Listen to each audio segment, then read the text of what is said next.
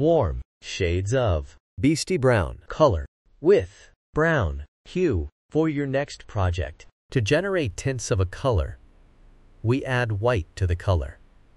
And tints creates light and exquisite emotions. To generate shades of a color, we add black to the color, and it is used in patterns.